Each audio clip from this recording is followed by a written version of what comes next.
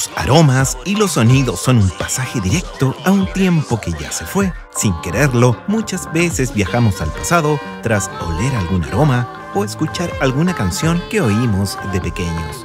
La publicidad y sus comerciales se transformaron en una verdadera cápsula del tiempo que con sus melodías hoy nos deslizan por un tobogán de emociones que de adultos son un verdadero bálsamo en aquellos días más duros.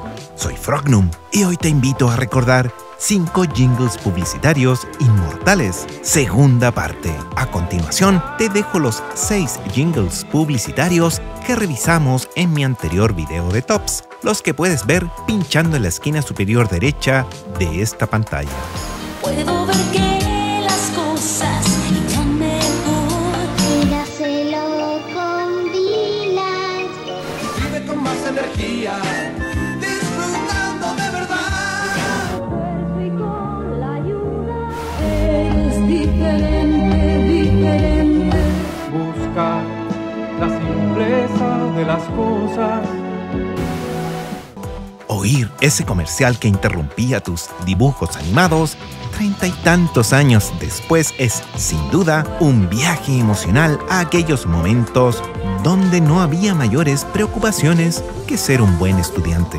La magia de Internet y sobre todo de YouTube nos permite cuando lo queremos de asomarnos a esa pequeña ventana llena de recuerdos que reflotan a aquellas melodías de comerciales que alguna vez memorizamos sin quererlo. Número 5. Yogurt Nestlé.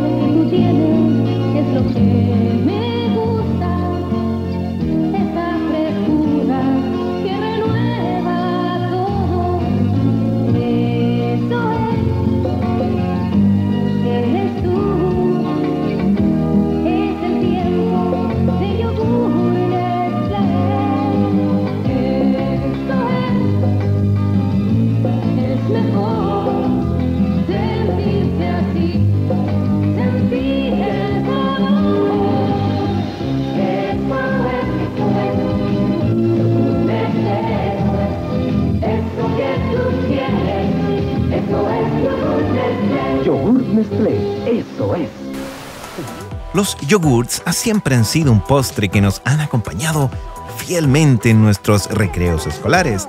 Durante la mitad de los 80, la llegada de Nestlé hizo que junto a las promociones, los comerciales fueran un puntal de lanza para penetrar en un mercado dominado por Soprole.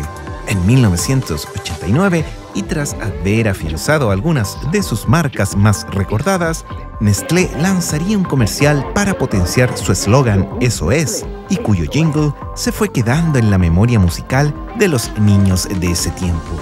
En el spot se nos muestra de manera general los distintos productos y a públicos a los que Nestlé dirigía sus lácteos, destacando principalmente a los niños y a sus padres, dándole a los yogurts un carácter familiar.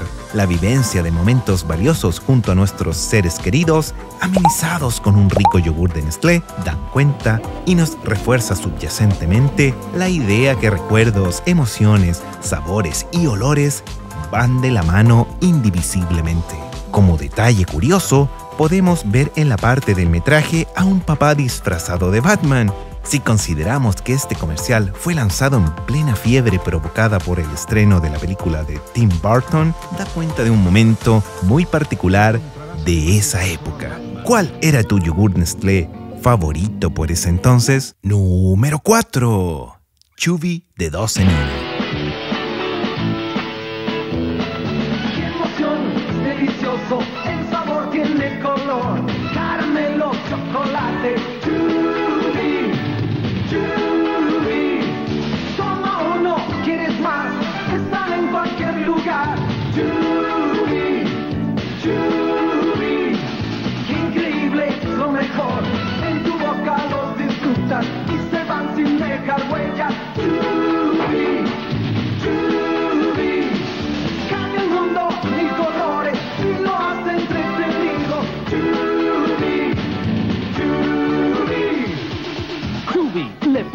color al chocolate. Los chocolates de colores siempre nos han resultado muy seductores. Si bien M&M ya se encontraba hace algunos años en el mercado chileno, Su alto valor lo hacía un producto poco masivo. Aprovechando esta situación, 2 en 1 lanzaría en 1989 a Chubby, unos pequeños chocolates bañados en caramelo que nos regalaron muchos momentos multicolores mientras los disfrutábamos en algún recreo o en el cumpleaños de un amigo. Su lanzamiento fue acompañado con un vistoso comercial que aprovechando su condición de multicolor no era más que una alegoría a esta característica y en donde podíamos ver una lluvia literal de este producto en pantalla. Como todo spot, un buen y pegajoso jingle acompañaba este breve metraje que con mucha energía nos contagiaba de buena onda y por supuesto de ganas de correr por un envase de chubis. La frase Chubby le puso color al chocolate cerraba un comercial que, a mi parecer, nunca pudo ser superado, pese a haber lanzado innumerables spots durante todos los noventas. En la actualidad, Chubby aún se comercializa bajo la marca de Arcor, quien adquiriera 2 en 1 en 1998. ¿Cuál de los envases de Chubby era tu favorito? Número 3. Bliss de Nestlé.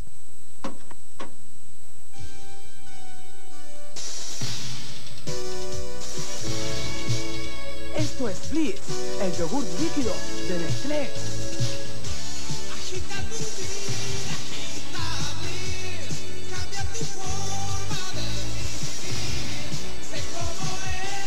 Bliss. La bebida saludable 100% natural. Yogur es salud.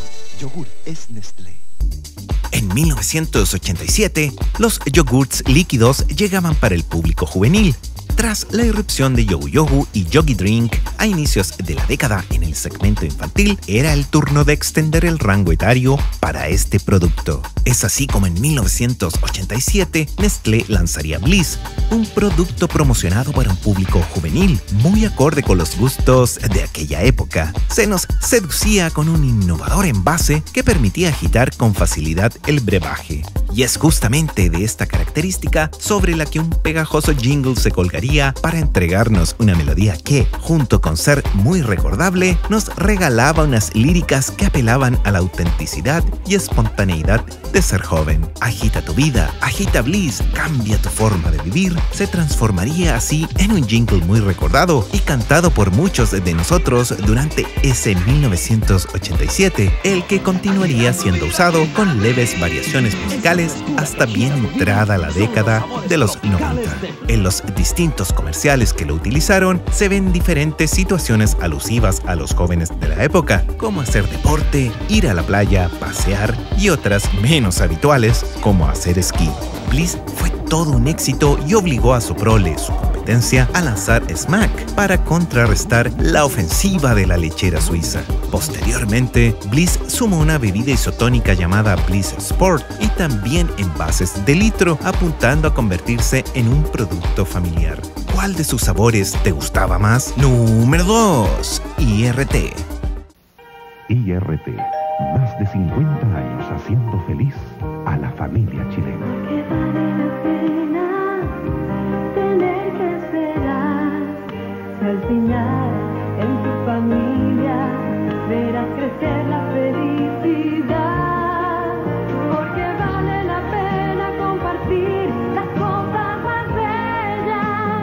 Sí, con IRT valió la pena.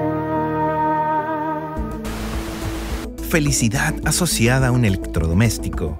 Un concepto que podría parecernos algo forzado, pero que en la forma de un emotivo y acertado jingle logran transformar la superficialidad de una compra en un momento que se traslada al mundo de las emociones. IRT o Industria de Radio y Televisión es una empresa chilena fundada en 1971 y que durante años se dedicó a la fabricación en su planta de Arica de electrodomésticos que fueron parte de la masificación de medios como la televisión entre los chilenos.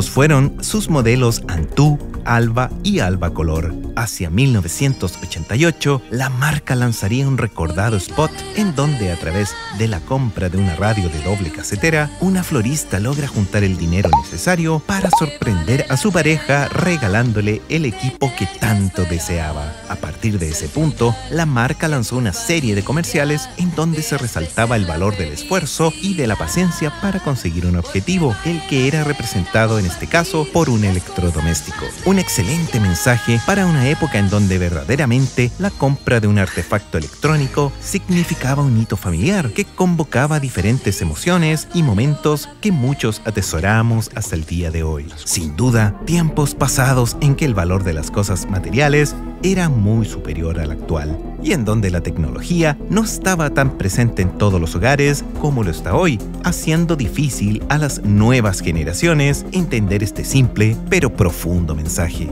¿Tuviste alguno de los artículos de IRT? Número 1. Entel Chile.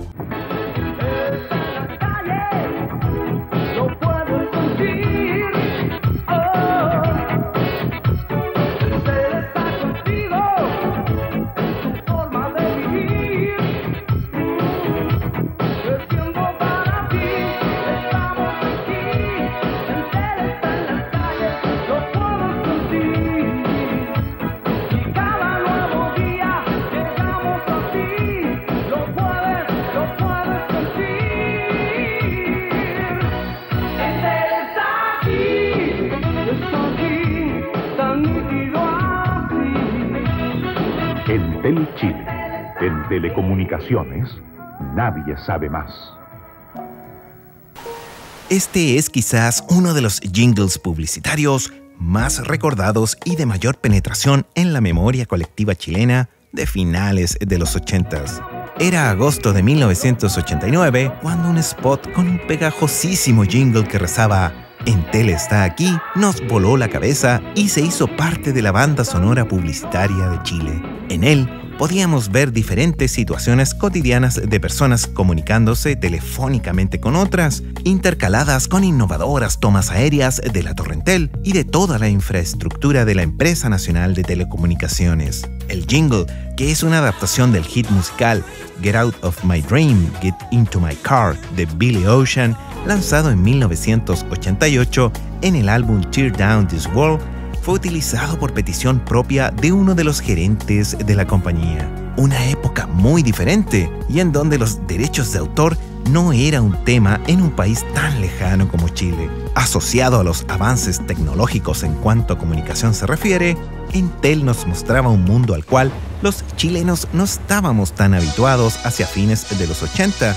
llamados de larga distancia nacional e internacional, tarjetas de prepago y otras bondades previas a la era del celular que llegaría hacia 1994. Sin duda, una adaptación muy bien lograda, cargada de buena vibra y que logra utilizar de excelente manera la musicalización original y cuya penetración le convirtió en la tonada utilizada por la marca durante muchos años posteriores. Un jingle que aún perdura en nuestros recuerdos y que es parte de la historia publicitaria e institucional de una empresa que hoy tiene presencia en otros países de Latinoamérica. ¿Conocías el tema original en 1989? Y con esto terminamos este segundo conteo de jingles inmortales. No olvides darle like a este video, compartirlo y lo más importante, suscríbete ahora mismo al canal para no perderte las novedades que me encuentro preparando para ti. Recuerda que también puedes hacerte miembro del canal aportando desde mil pesos mensuales. Nos vemos en el próximo conteo.